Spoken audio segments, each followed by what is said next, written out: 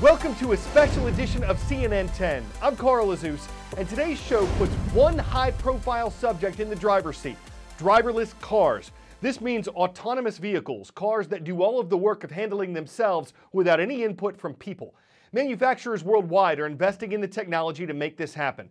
But right now, full automation doesn't exist on American roads, at least not legally.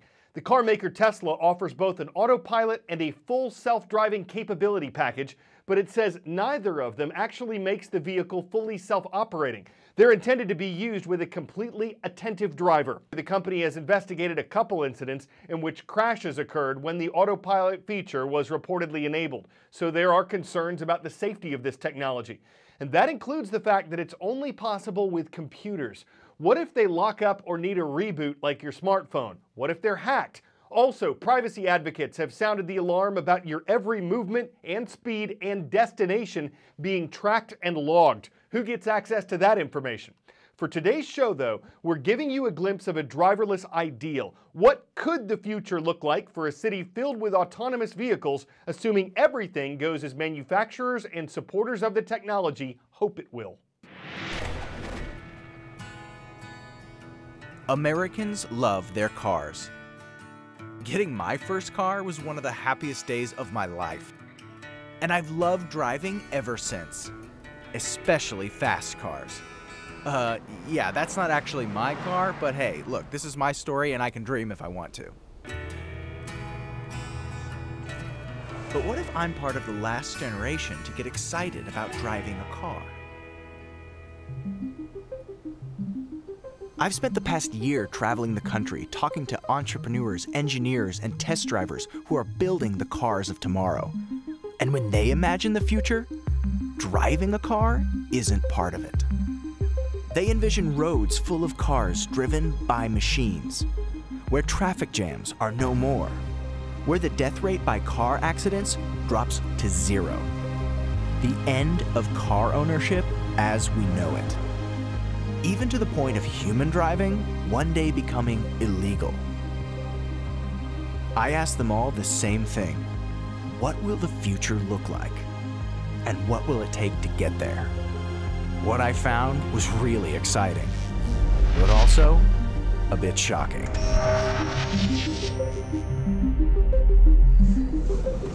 Okay, so as soon as I turn out of this parking lot, engage in self-driving mode. Right. So technically, we don't need a driver in the car. So you and I are basically, in a way, just yep. passengers now. Yes. We're test driving a car powered by autonomous vehicle startup Drive AI on the streets of Northern California. It's one of several companies working to utterly transform how we live. This test car could be the prototype of an automobile that not only takes you out of the driver's seat, but creates a future where you might not need to own a car at all. At least, that's what the people building them think. Ownership will probably be abandoned. Um, we mostly have uh, cars that we summon on our phone. The car will come empty to us and, and, and pick us up, and we get inside in front of our office or our house, and it drives us straight to the restaurant and there's no time wasted with parking. In a world with self-driving cars, the utopia of the future, the only vehicles operating in the city are driverless electric emissionless vehicles. That they can position themselves in a state where you know you or I hailing one from our smartphone has one there within a minute. We will look back and say, wow, people own cars to get from this point to that point. Eliminating car ownership would drastically change the way we shape our cities. The thing I'm most excited about is the ability on the street to reallocate space away from the storage of vehicles. Right now, cars sit idle 94.8% of the time. I mean, that's staggering. And I think we could literally close 30, 40% of our streets to automobiles. You don't need cars on, on neighborhood streets anymore.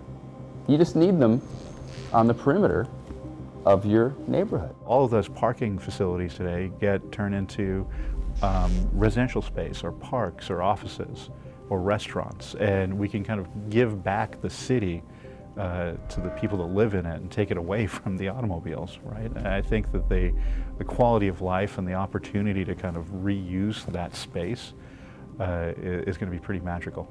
Imagine it never driving again. The nation of muscle cars, NASCAR, and open road. You're gonna tell Americans they can't drive? Well, eventually, maybe. There may be a law in place that basically says 50 years from now, humans cannot drive on public roads. And if a human does want to drive, you actually go to a private car ranch where you can basically drive to your heart's content. All right, I know what you're thinking. A car ranch? But it's actually not that crazy. Remember, when we transitioned from horses to automobiles, we didn't shoot all the horses. Well, guess what?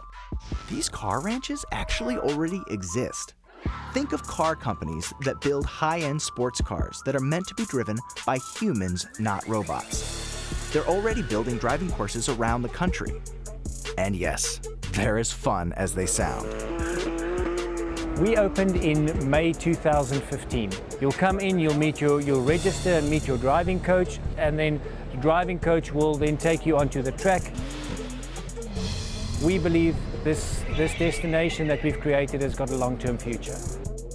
Porsche knows that driverless technology is around the corner, but they still want people to love driving, even if they do less of it on public roads.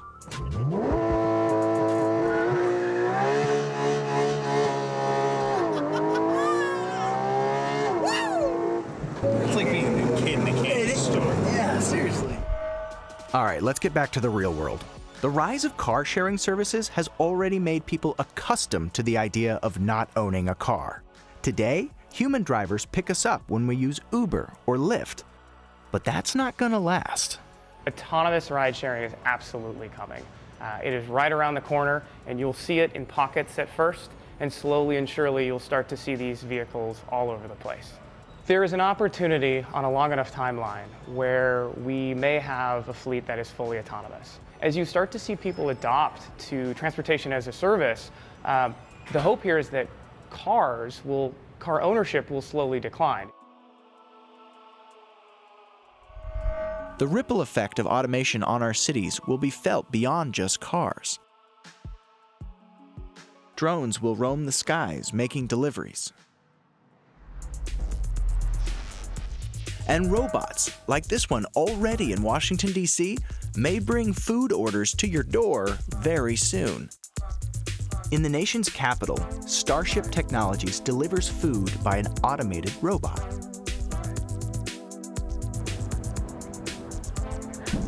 There it is.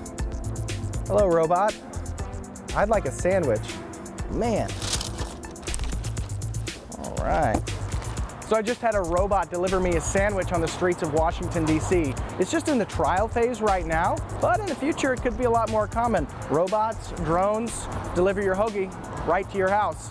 All you gotta do is push a button on an app and you got yourself a sandwich. All of these changes won't come easy. Perhaps the biggest fear? What will happen when all these robots get better at our jobs than we are? Will they replace us?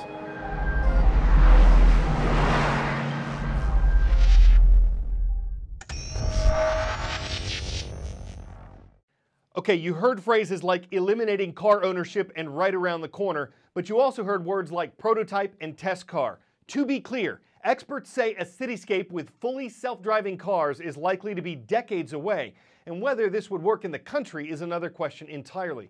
For the present, even with all the technology available to us, drivers are still autonomously in control. And even if driverless cars seem the technological next step, the intelligence of smart cars is still artificial. So smart design will have to take the driver's seat if people are to take a backseat role on the road ahead. I'm Carl Azuz, and I break for CNN.